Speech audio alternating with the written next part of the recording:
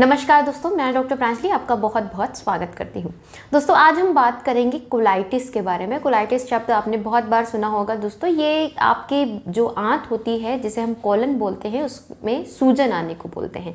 तो आज हम बात करेंगे दोस्तों कि कोलाइटिस क्यों होता है, कितने तरह का होता है, कैसे लक्षण आपको देखने को मिलते हैं, कौन से कॉजेज इसके पीछे जिम्मेदार होते हैं, और ऐसी कौन सी होम्योपैथिक मेडिसिन है जिसका प्रयोग करके आप अपनी कोलाइटिस की परेशानी को बहुत हद तक ख़त्म कर सकते हैं। तो ये वीडियो दोस्तों आपके लिए बहुत ज़्यादा इन्फॉर्मेटिव है, आप इसको अंत तक ज़रूर देखें। और मेरे साथ बने रहे दोस्तों तो चलिए शुरू करते हैं।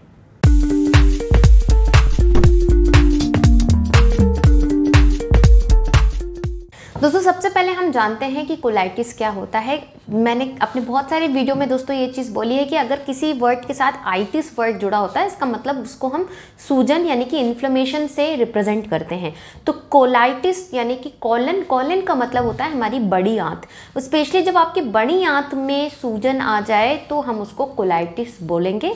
आपकी आंत में जो सूजन है, वो किन, बहुत सारे कारणों की वजह से हो सकती है। अगर मैं इनके कॉजेज़ के बारे में बात करूँ तो जो उनके मेन कारण देखने को मिलते हैं, वो है वायरल इन्फेक्शन पैरासिटिकल इन्फेक्शन या इवन फ़ूड पॉइजनिंग जो किसी बैक्टीरिया की वजह से हुई हो इन ये इनके मेन कारण होते हैं क्योंकि एक तरह की इन्फेक्शियस डिज़ीज़ होती है।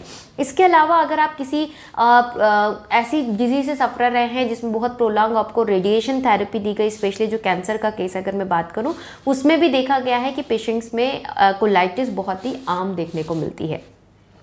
अब बात कर लेती हूँ मैं इनके प्रकारों के बारे में, यानी कि टाइप्स ऑफ़ कोलाइटिस दोस्तों, मैं पूरी डिटेल उनकी नहीं बताऊँगी क्योंकि बहुत लंबा फिर वीडियो हो जाएगा। हम आज सिर्फ़ इनके बारे में जान लेते हैं कि कितने तरह का कोलाइटिस होता है। दोस्तों, जो मेनली अगर मैं कोलाइटिस के डिविजन्स के बारे में बात करूँ तो ये पाँच तरह के अमूमन देखने को मिलते हैं। एक है अल्सरेटिव कोलाइटिस जिसको आपने बहुत बार सुना होगा, बहुत सारे लोगों में ये चीज़ देखने को मिलती है कि अंदर छाले तक बनने लग जाते हैं सूजन के साथ साथ दोस्तों, जो सेकेंड टाइप होता है, इसका सीडो मेम्ब्रेन वेनस कोलाइटिस इसमें क्या होता है? जो क्लॉस्ट्रेडियम बैक्टीरिया है, उसकी ओवर ग्रोथ होने की वजह से ये इस तरह की कोलाइटिस डेवलप होती है। जो थर्ड कोलाइटिस का टाइप है, वो है इस्चिमिक कोलाइटिस इसमें क्या होता है कि आपके जो कोलन यानी कि जो आंत है, उसको ब्लड सप्लाई बहुत सडनली कट ऑफ़ हो जाए या रिस्ट्रिक्ट हो जाए, जिसकी वजह से अंदर उनमें प्रॉपर ब्लड सप्लाई ना पहुँचने की वजह से एक तरह का सडन डेवलप हो जाए या स्किन वहाँ की डार्क पड़ने लग जाए, जिसको इस्चिमिक कोलाइटिस बोलते हैं। फोर्थ अगर मैं टाइप्स के बारे में बात करूँ, जिसको बोलते हैं माइक्रोस्कोपिक कोलाइटिस इसमें क्या होता है कि आपको डॉक्टर तभी डिफाइन कर पाता है जब अंदर से आपकी आंत के टिश्यू को लेकर वो चेक करके बताए कि अंदर आपकी जो आंत है, उनमें सूजन या परेशानी है। जो फिफ्थ है जो टाइप उसको बोलते हैं एलर्जिक इन्फेंट कोलाइटिस ये मेजरली उन स्पेशली उन बच्चों में देखने को मिलता है जो जस्ट पैदा हुए हैं या फिर फ़र्स्ट मंथ ऑफ़ बर्थ हैं। उनमें अगर जैसे मिल्क से इंटॉलरेंसी होती है या बहुत ज़्यादा वो मिल्क स्पिट आउट करते हैं, बहुत ज़्यादा गैस बनती है तो उन बच्चों में ये ज़्यादा देखने को मिलने लग जाता है। जो कि ये टाइप है दोस्तों, जो मेन जो टाइप कोलाइटिस के हैं, ये फाइव टाइप्स देखने को मिलते हैं। अगर मैं इनके सिम्टम्स के बारे में बात करूँ तो आपको सबसे पहले जो सिम्टम्स देखने को मिलेगा है, वो है एब्डोमिनल पेन या डिस्कम्फर्ट अब ये सीवियर भी हो सकता है माइल्ड भी हो सकता है, आपको हल्का डिस्कम्फर्ट पेट में बना रहे या फिर आपको तेज़ दर्द बना रहे, ये दोनों ही सिचुएशन आपके सिवेरिटी ऑफ़ कंडीशन पे डिपेंड करती है। नेक्स्ट इसके बाद आप में जो सबसे ज़्यादा सिम्टम्स देखने को मिलेंगे, वो ब्लोटिंग मिलेगा कि आपको बहुत ज़्यादा गैस बनती सी लगेगी पेट बहुत ज़्यादा पुला पुला सा लगेगा नाभि के आसपास आपको हल्का दर्द और डिस्कम्फर्ट बना रहेगा।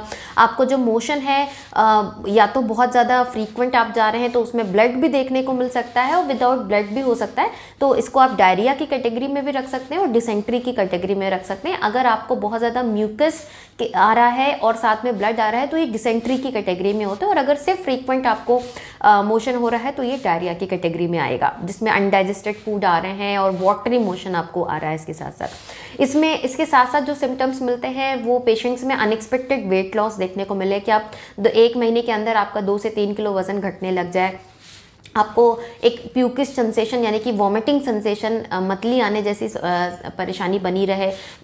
बुखार आए दिन आता रहता हो, आपको ठंड लग के बुखार आ रहा हो, साथ में आपको ऐसा लगे कि आपको एक चुभन वाला पेन बना रह रहा है, आपको एक चुभन सा आपके नाभि के आसपास बना रह रहा है। तो ये कुछ मेन सिम्टम्स हैं आपके कोलाइटिस के। आपको अगर इनमें से कोई भी लक्षण मिल रहा है तो आप फ़र्स्ट इमिडिएटली आप चेक करवाएँ और इसके बहुत सारे टेस्ट होते हैं कोलोनोस्कोपी करा के देखा जाता है या फिर यू नो अल्ट्रासाउंड से भी डॉक्टर्स थोड़ा सा तो समझ जाते हैं कि कोलम्स में सूजन है कि नहीं। फिर आगे के जो फर्दर इन्वेस्टिगेशन है, वो किए जाते हैं। स्टूल चेकअप करके देखा जाता है कि इसमें ब्लड आ रहा है, म्यूकस आ रहा है, यानी पैरासाइट या बैक्टीरियल इन्फेक्शन तो आपके स्टूल में नहीं है तो ये सारी चीज़ें आगे फर्दर इन्वेस्टिगेशंस में देखी जाती हैं। अब बात कर लेते हैं हम होम्योपैथिक मेडिसिन के बारे में दोस्तों कि आज मैं आपको एक बहुत ही अच्छा मदर टिंचर कॉम्बिनेशन बताऊँगी जो कोलाइटिस के जितने भी टाइप्स हैं, एक्सेप्ट जो बच्चों की कैटेगरी है, उसमें आप मदर टिंचर्स का प्रयोग ना करें, क्योंकि बच्चे जस्ट बॉर्न है और उनकी ये परेशानी धीरे धीरे करके सेटल भी हो जाती है तो उनको देने की आवश्यकता नहीं है। बाकी की जो केसेस हैं, उन सब में आप इसका प्रयोग कर सकते हैं और ये बहुत ही अच्छा काम करती है। इसमें आपको लेने हैं दोस्तों मदर टिंचर्स कॉम्बिनेशन सबसे पहला है हाइड्रिस्टिस कैन मदर टिंचर आपने मेरे मल्टीपल वीडियोज़ में सुना होगा कि हाइड्रिस्टिस एक बहुत ही अच्छा काम करती है। डाइजेशन रिलेटेड हर परेशानी के लिए आपका अगर यू नो आंतों में सूजन से लेकर अगर अगर डाइजेशन भी इम्पेयर्ड है आपको मोशन बहुत हार्ड या फ्रीक्वेंट हो रहा है, इन सारे कैटेगरी में हाइड्रिस्टिस कैन बहुत अच्छा काम करती है। आपको इसको मदर टिंचर फॉर्म में लाना है। दूसरा है इचनेशिया मदर टिंचर दोस्तों, ये एक तरह का एंटीसेप्टिक काम करता है आपकी बॉडी में। जो इन्फेक्शन हुआ है, जो इन्फेक्शन के वजह से आपको कोलाइटिस डेवलप हुई है, वो उसको कम करने में मदद करती है।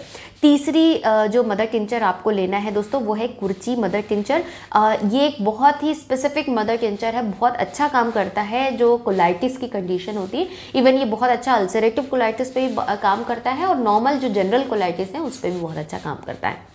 जो फोर्थ मेडिसिन है दोस्तों, आपको लेना है एस्टिस्टा इंडिका, मदर टिंचर। दोस्तों, ये एस्टिस्टा जो स्पेसिफिकली आपके मोशन में अगर आपको बहुत ज़्यादा पेन रह रहा है मोशन पास करने से पहले या बाद में, इसके साथ साथ अगर आपको मोशन में ब्लड आ रहा है या आपको बहुत ज़्यादा क्रैम्प हो रहे हैं म्यूकस आ रहा है तो ये मदर टिंचर उस पर बहुत ही अच्छा काम करता है। एंड फिफ्थ मदर टिंचर आपको लेना है बेप्टीशिया मदर टिंचर।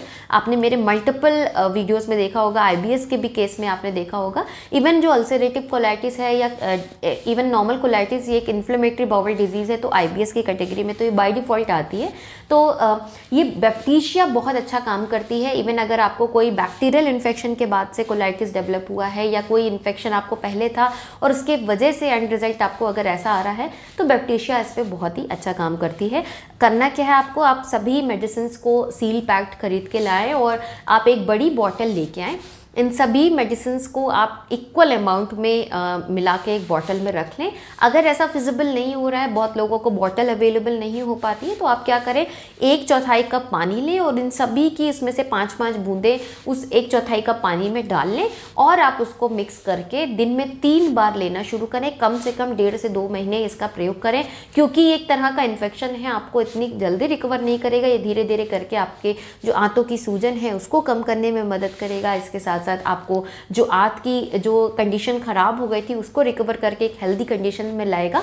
तो आपको कम से कम डेढ़ दो महीने तो मिनिमम इसका प्रयोग करना ही है।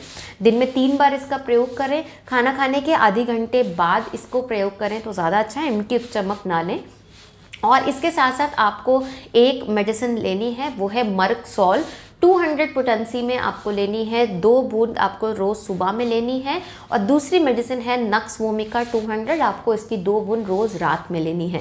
तो ये जो फाइव मेडिसिन कॉम्बिनेशन जो मदर टिंचर हैं प्लस ये दो मेडिसिन को आप एक साथ कंबाइंड करके कम से कम डेढ़ दो महीने लें, आपको डेफिनेटली बहुत ही अच्छा रिस्पॉन्स देखने को मिलेगा दवाओं का। और कोलाइटिस से अगर आप बहुत लंबे समय से भी सफ़र हैं तो ये आपको बहुत हद तक रिकवर कर देगा without any antibiotic without any antiviral anti inflammatory medicine जो आपको अन्य परेशानी भी आपके शरीर में कॉज कर सकते हैं। बस दोस्तों, आज के लिए इतना ही। अगर आपको वीडियो अच्छा लगा है तो इसको लाइक ज़रूर करें शेयर करें दोस्तों, ज़्यादा से ज़्यादा फ्रेंड्स फैमिली मेंबर्स और रिलेटिव्स के साथ। और अभी तक आपने मेरे चैनल को नहीं सब्सक्राइब किया है तो चैनल ज़रूर सब्सक्राइब करें दोस्तों। मिलती हूँ इसी तरह के इन्फॉर्मेटिव वीडियोज़ के साथ। तब तक के लिए thank you so much stay safe and healthy